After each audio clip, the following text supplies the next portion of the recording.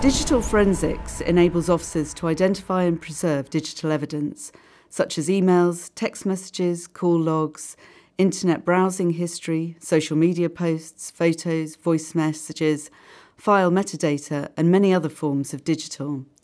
The digital evidence that you decide to use as part of your investigation is often critical in establishing the facts of the case and providing vital support for your overall investigative strategy. Tracing digital footprints is a practical and powerful tool in many RASO investigations. By meticulously analysing IP addresses, timestamps, geolocation data, and online interactions, investigators can track the origin and movement of data thereby establishing a sequence of events that could be instrumental in confirming a suspect's guilt or innocence.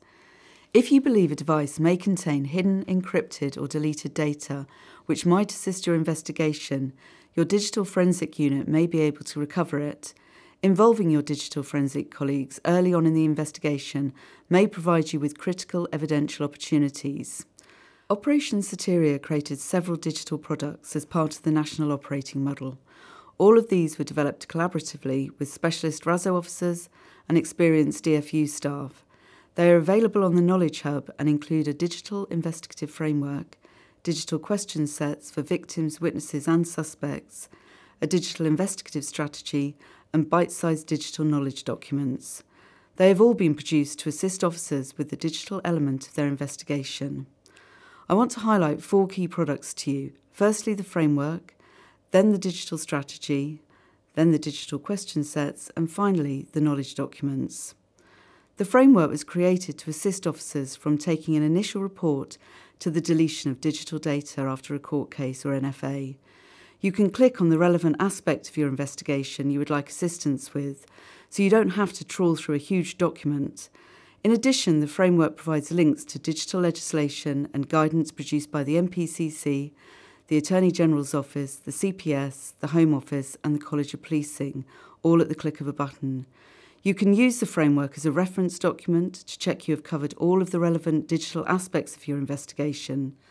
The digital strategy document has been developed to support officers in establishing focused and investigatively relevant digital strategies. This will assist investigators to keep their lines of inquiry both focused and relevant, which is essential for both practical and ethical reasons. The strategy highlights the range of digital opportunities that may be available to officers throughout the investigation.